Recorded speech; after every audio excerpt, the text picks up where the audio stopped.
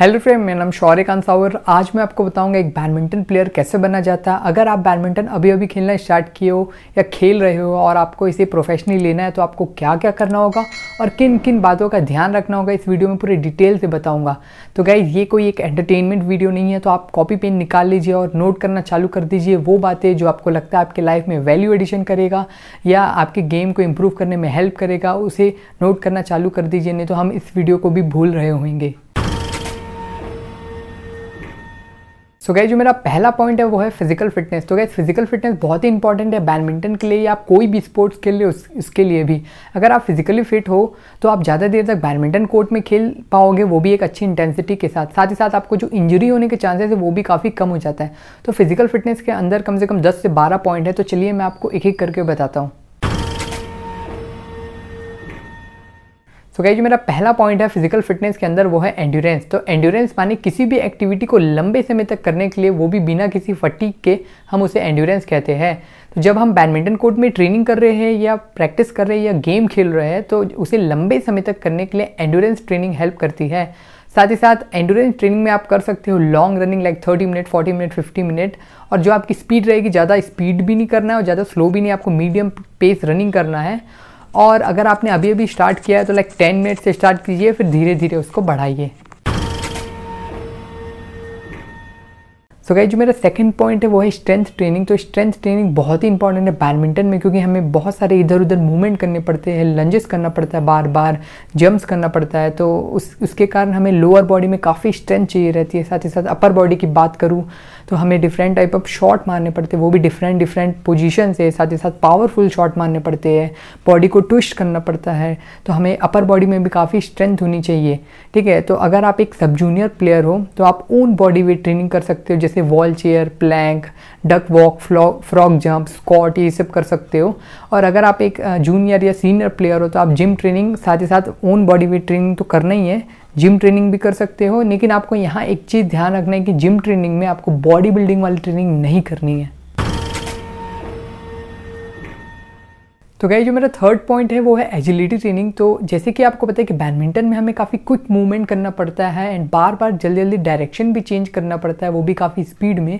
तो agility training help करती है ये सब अचीव करने के लिए। तो क्या मैं अलग से एक वीडियो बना दूँगा एजिलिटी ट्रेनिंग के ऊपर।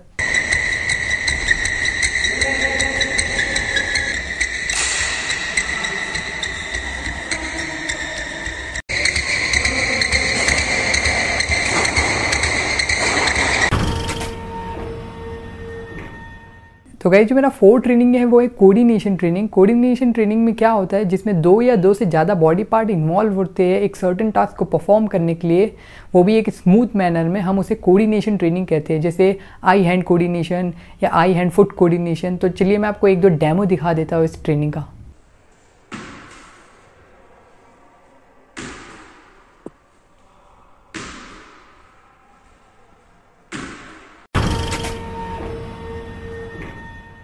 सो गाइज़ जो मेरा फिफ्थ पॉइंट है, वो है फ्लेक्सिबिलिटी तो गाइज़ फ्लेक्सिबिलिटी हेल्प करता है मसल या ग्रुप ऑफ़ मसल के रेंज ऑफ़ मोशन को बढ़ाने के लिए.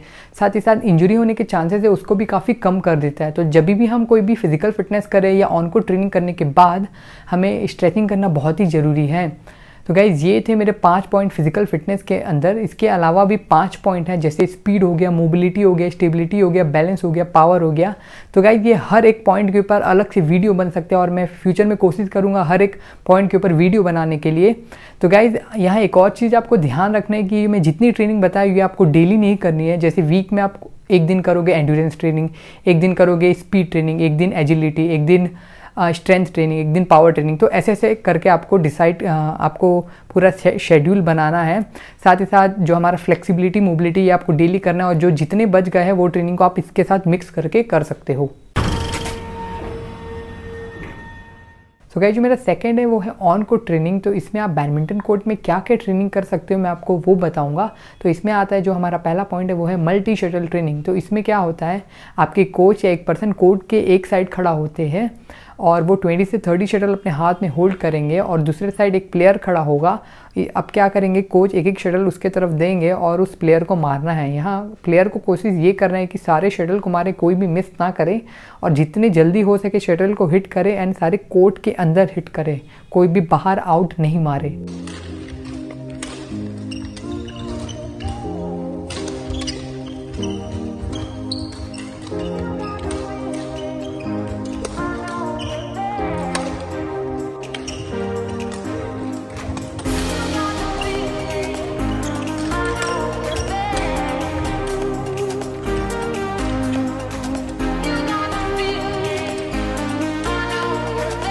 सो so जो मेरा सेकंड ट्रेनिंग है, वो फुटवर्क ट्रेनिंग इसमें आता है शेडो आता है शटल रन आता है। इस टॉपिक के ऊपर ऑलरेडी मैं एक वीडियो बना चुका हूँ तो आप आई बटन में जाके देख सकते हैं।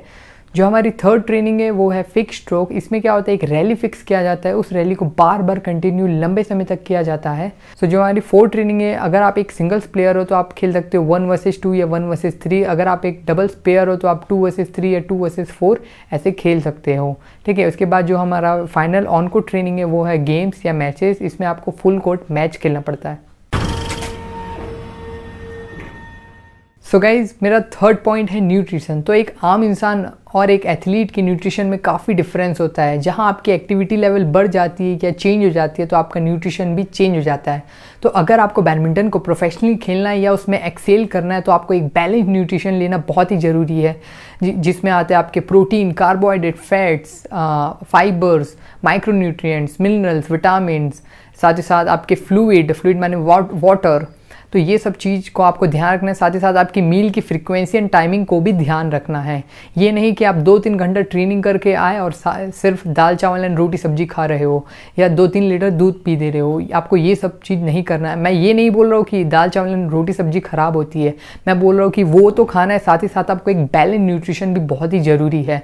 मैं एक एग्ज़ाम्पल के थ्रू आपको बताता हूँ। जब हम अपनी कार को सर्विसिंग के लिए ले जाते हैं तो सर्विसिंग के टाइम इंजन में इंजन ऑयल डालते हैं ब्रेक में ब्रेक फ्लूड डालते हैं। फ्यूल टैंक में पेट्रोल या डीजल ही तो डालते हैं ना। हर जगह थोड़ी ना हम सरसों का तेल डालते हैं। वैसे ही हमें, हमारी बॉडी को भी हम, जब हमारी एक्टिविटी लेवल बढ़ जाती है तो हमारी बॉडी को रिकवरी चाहिए रहता है। स्ट्रेंथ बढ़ाने के लिए परफॉर्मेंस बढ़ाने के लिए हमें एक बैलेंस न्यूट्रिशन बहुत ही ज़रूरी रहता है। सो so गाइज़ मैं कोशिश करूँगा न्यूट्रिशन के ऊपर एक वीडियो बनाने के लिए। आप ये भी कर सकते हो, आप एक प्रोफेशनल डाइटिशियन के पास जा सकते हो। वो आपकी ट्रेनिंग के हिसाब से आपका डाइट बना के देगा, जो आपको काफ़ी हेल्पफुल रहेगा आपकी ट्रेनिंग में। तो गाई जो मेरा फोर्थ पॉइंट है, वो है रिकवरी के ऊपर। अब आपने अच्छी ट्रेनिंग कर ली, ठीक है? अब अच्छा खाना खा लिया। अब आपकी बॉडी को चाहिए रिकवरी ठीक है? तो सबसे जो पहला पॉइंट है, वो है स्लीप तो अगर आप एक सब जूनियर प्लेयर हो या जूनियर प्लेयर हो तो आप सात से आठ घंटा आपको सोना ज़रूरी है। क्यों? क्योंकि उसमें आपकी बॉडी को रिकवरी मिलेगा, क्योंकि आप इतनी हैवी ट्रेनिंग करते हो। साथ ही साथ साथ ही साथ आपकी बॉडी ग्रोथ में भी काफ़ी हेल्प करेगा, अगर आप like seven to eight hours sleep करते हो।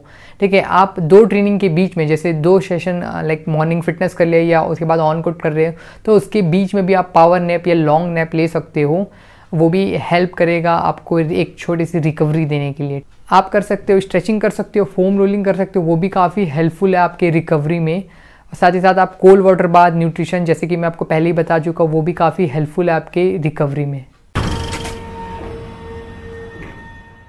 सो गाइज़ मेरा जो फिफ्थ पॉइंट है, वो मेंटल प्रिपरेशन के ऊपर है। तो जब भी आप कोई ट्रेनिंग करने जा रहे हो या मैच खेलने जा रहे हो तो आपको मेंटली प्रिपेयर करना है। साथ ही साथ स्ट्रेटजीज भी बनानी है। तो मैं आपको एक एग्ज़ाम्पल बताता हूँ कि थाईलैंड की एक मिक्स डबल्स टीम है जो रिसेंटली तीन टूर्नामेंट कंटिन्यू जीती, जिसमें से जो थर्ड टूर्नामेंट था, वो B W F world tour final था, जो one of the biggest tournament है बैडमिंटन में। तो उन्होंने अपने इंटरव्यू में क्या कहा कि जब हम ट्रेनिंग करते थे तो अपने आप को मेंटली प्रिपेयर करते थे कि हम अपने अपोनेंट के साथ खेल रहे हैं, ऐसा उन लोग विजुलाइज करके खेलते थे। साथ ही साथ जो उनका इन्वायरमेंट है, उसे भी विजुलाइज मेंटल प्रिपेयर करके खेलते थे कि ऐसा ऐसा इन्वायरमेंट है, ऐसे हमारे अपोनेंट है तो हम ऐसे ऐसे खेलेंगे करके। तो ये इनको काफ़ी बेनिफिट रहा और वो तीन टूर्नामेंट कंटिन्यू जीते। इसके अलावा भी आप मेडिटेशन कर सकते हो। मेडिटेशन में भी बहुत सारे डिफरेंस देखने को मिल जाते हैं, जैसे breathing meditation focus meditation chanting meditation और बहुत सारे प्रकार को। तो जो आपको अच्छा लगता है, आप वो करिए। साथ ही साथ योगा योगा भी बहुत ही इफ़ेक्टिव है। आपको ये भी करना चाहिए।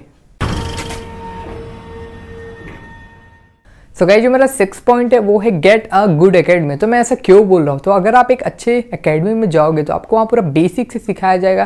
साथ ही साथ अपने से अच्छे प्लेयर लोग के साथ खेलने का मौका मिलेगा। तो आप जितने अच्छे प्लेयर लोग के साथ खेलोगे, उतने जल्दी आपका गेम बढ़ेगा, ठीक है? और साथ ही साथ वहाँ आपको बहुत सारे डिफरेंट डिफरेंट स्टाइल्स के प्लेयर्स भी मिलेंगे। तो आप उनके शॉर्ट से, उनके मूव से बहुत कुछ सीख सकते हो।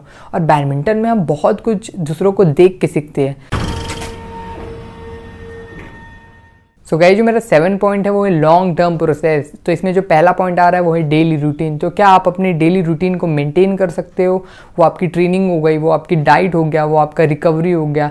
ये सबको मेंटेन कर सकते हो और आपको कोशिश करना है कि इसमें से आपको कोई भी मिस ना करना है, ठीक है? जो सेकेंड पॉइंट आता है, वो हमारा कंसिस्टेंसी तो क्या आप अपनी डेली रूटीन को बनाए हुए, वो भी लंबे समय तक कर सकते हो? अगर आप इसे एक दो साल करना, कर रहे हो तो आने वाले सालों में आपका कुछ नहीं होने वाला है, क्योंकि पाँच दस साल लग जाते एक अच्छे लेवल में पहुँचने के लिए, ठीक है? तो अगर आप बैडमिंटन को प्रोफेशनली खेलना चाह रहे हो या उसमें एक्सेल करना चाह रहे हो तो आपको अपनी डेली रूटीन को मेंटेन करते हुए लंबे समय तक करना करना होगा। तो क्या आप रेडी हो अपनी डेली रूटीन को लंबे समय तक करने के लिए? अगर यस तो आप एक अच्छे प्लेयर बन सकते हो। अगर नहीं तो ये आपकी बस की बात नहीं है, क्योंकि सालों की मेहनत लगती है नेशनल इंटरनेशनल लेवल में पहुँचने के लिए। वो है मैनेजमेंट के ऊपर। तो आपको अपनी स्टडीज़ आपके एग्ज़ाम आपके ट्रेनिंग आपकी टूर्नामेंट को मैनेज करके चलना पड़ेगा।